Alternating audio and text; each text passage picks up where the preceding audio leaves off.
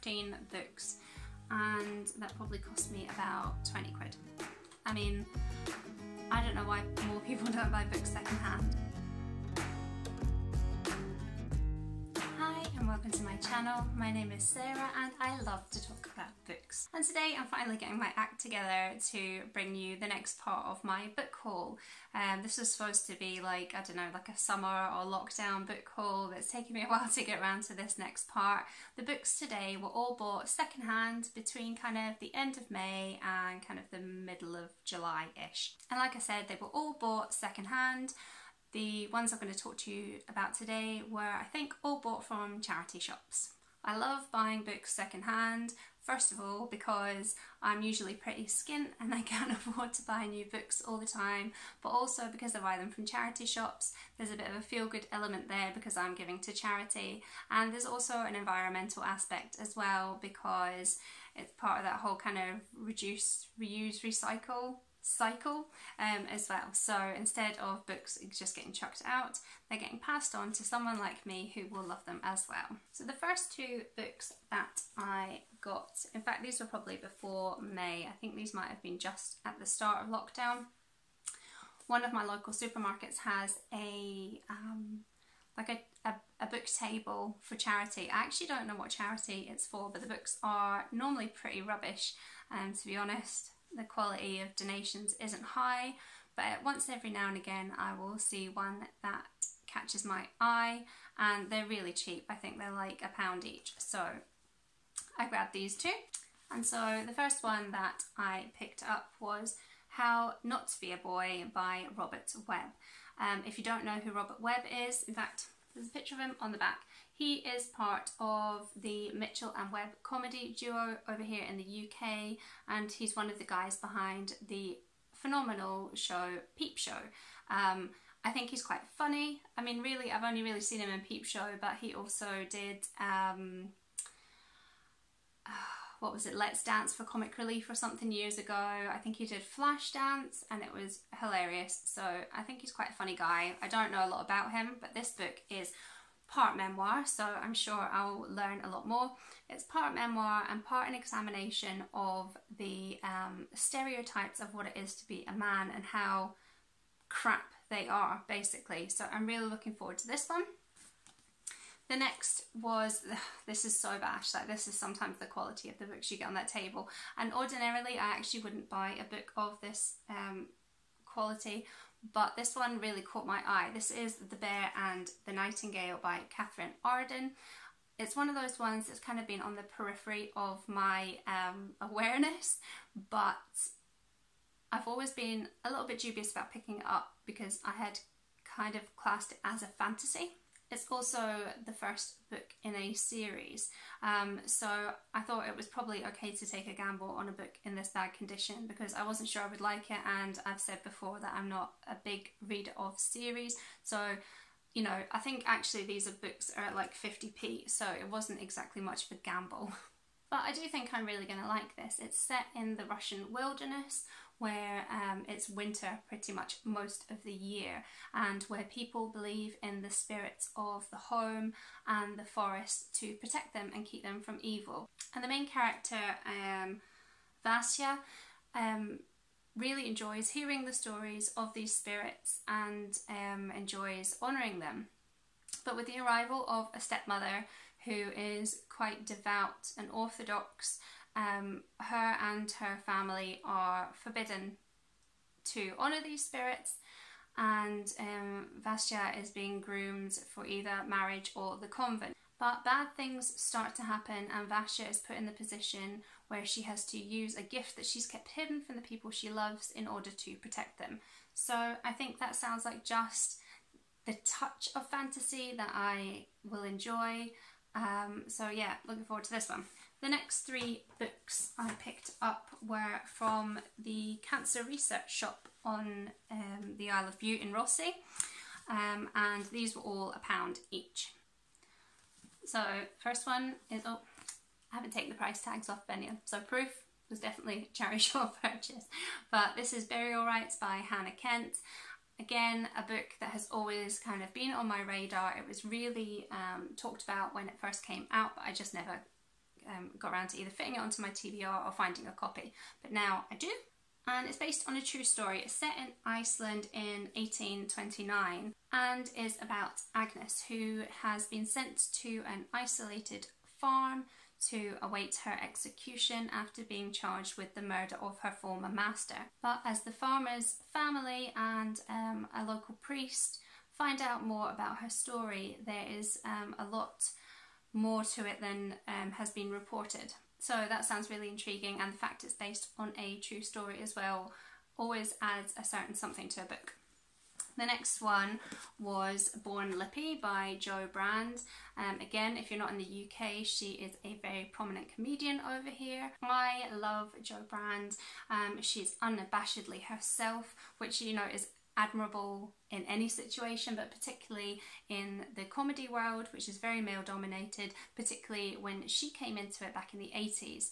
Um, so this is kind of almost like a compliment to Robert Webb's book because it's part memoir and part examination of what it is to be a woman in today's society. Jo Brand is sarky, she's brutal, she's funny as fuck, and um, I'm pretty sure the book is going to be the same.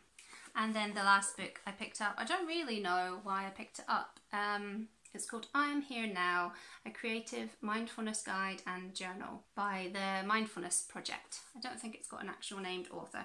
No, because it's not really a book, it's just um, lots of different mindfulness exercises that you can do, which to be honest, knowing me, I will probably not actually do. But it was only a quid for an aspirational purchase. And then next, um, I picked up some books in the Oxfam bookshop on Byres Road in Glasgow. This was the day where I went to Waterstones with my birthday voucher and bought a lot of the books that I mentioned in um, my previous book haul video, which I will link below, where I bought actual new books, which is a very rare occurrence for me. Um, so I picked up these two. Now I often find with the Oxfam bookshops is that, you know, in the context of them being secondhand books, they are actually quite pricey. My favourite place to get secondhand books is the Red Cross book sale that's held in my town on a Wednesday, um, but I don't know if that's going to be continuing. I'm pretty sure it's been closed throughout lockdown, but the hall in which it was housed um, has been bought over by a community project. So I'm really, really hoping that they will keep that book sale going. But I know it takes up like a whole hall of that um, community centre, so I don't know whether they will. But the books in there are super cheap, and um, so I will go in with a fiver and come out with like a massive stack of books. Um, that's the kind of secondhand books that I love. Um, but the Oxfam bookshop, like these were, no prices on any of these. Yeah, like these were four pounds each, um, which I think is a bit steep for a secondhand book, but it it's all going to charity, so I really shouldn't quibble. Uh, the first book that I picked up from it was The Peculiar Sadness of Lemon Cake, and this is by Aimee Bender. And when I bought this, I hadn't yet read The Butterfly Lampshade, and I, actually, it was only when I was preparing for this haul video that I realised that this is the same author and I really liked the Butterfly Lampshade so I'm looking forward to this one. I've heard it mentioned quite, well not quite a few times, a couple of times um, on the What Should I Read Next podcast and it's about Rose who can taste emotions in food.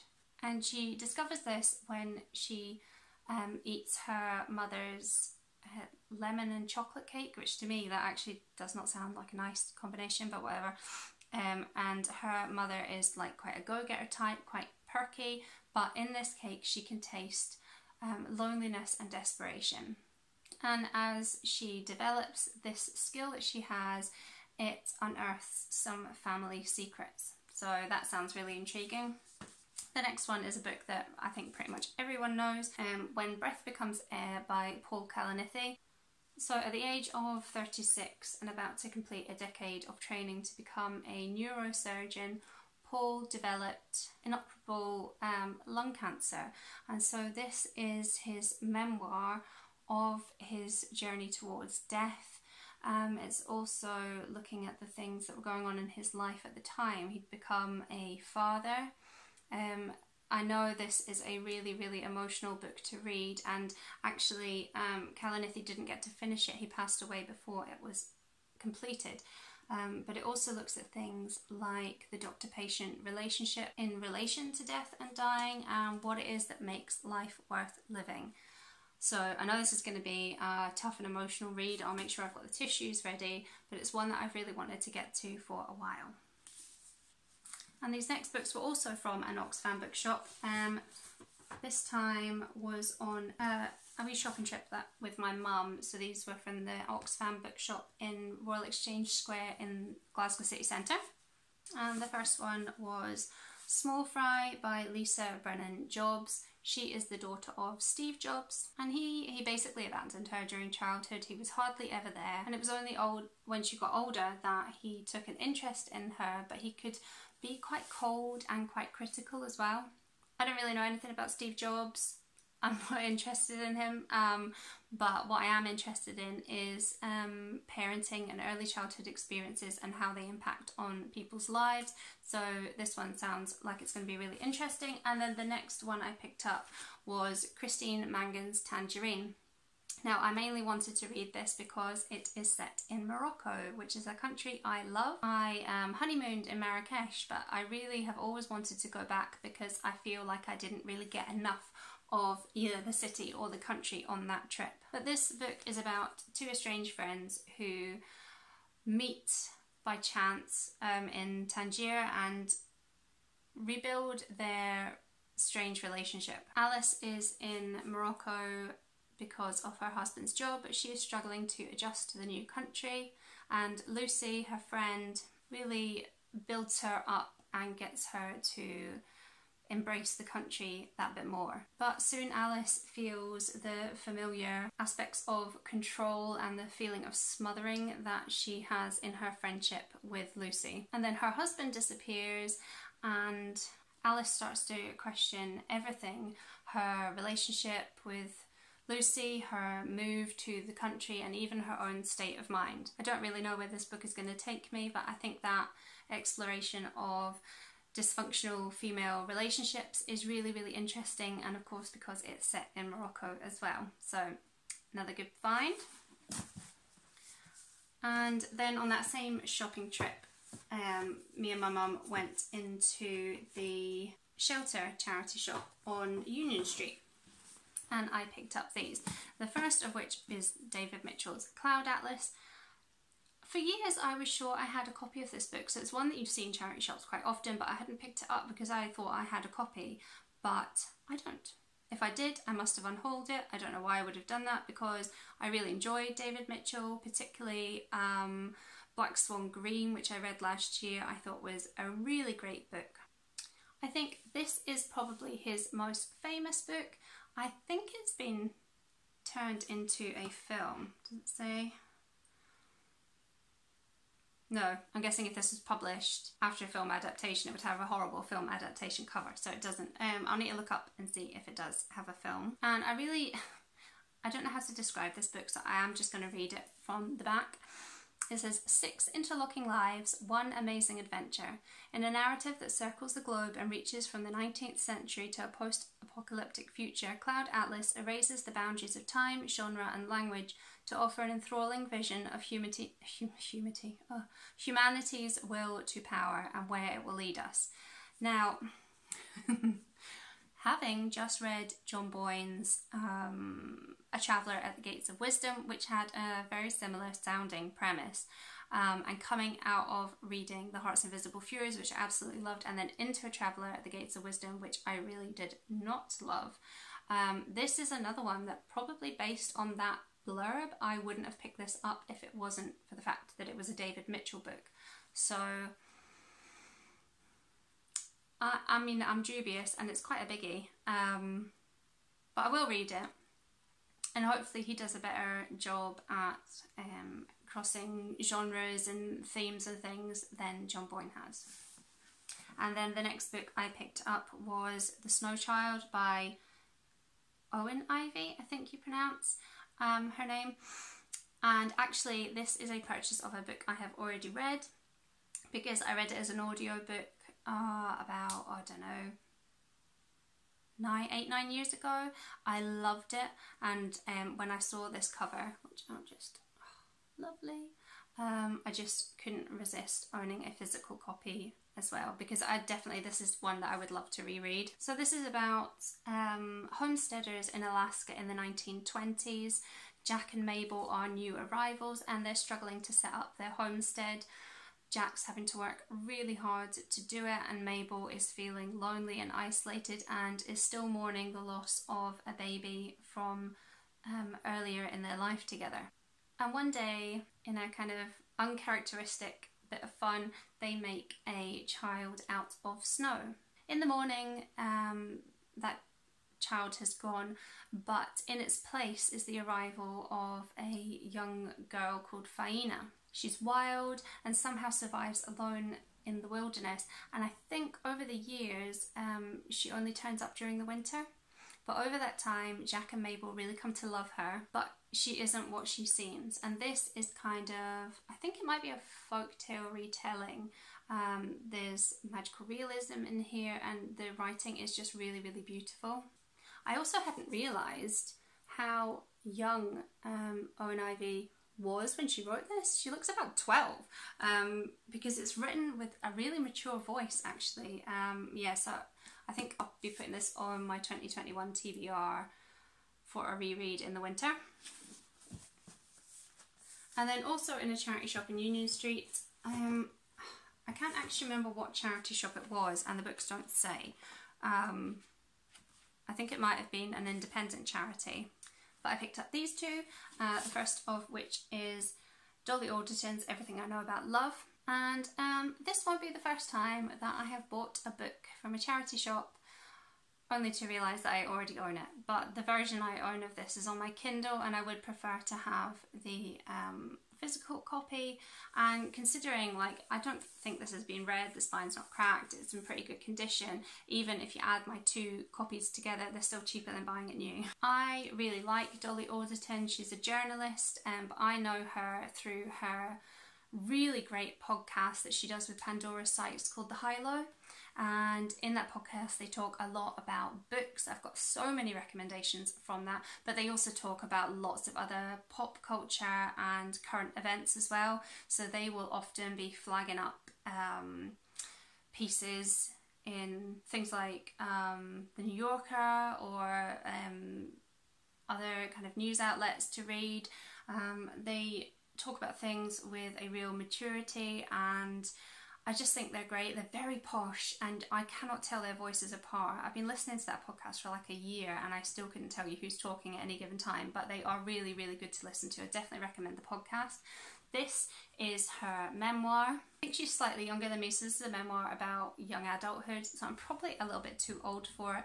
But like I said, I love her, and I think she talks a lot about dating and being single and you know I'm single and if I ever ever mm, uh, feel like putting myself back out into the dating pool I might get something from this anyway.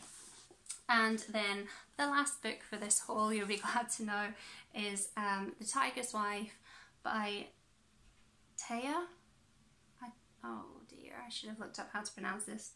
Téa Obreht I'm not sure why I picked this up actually, but it is on my Goodreads TBR. So at one point I must have um, heard a review or something about it that piqued my interest. Uh, and the back of the book is one of those annoying ones that doesn't really tell you anything. Oh, my lights are not helping here.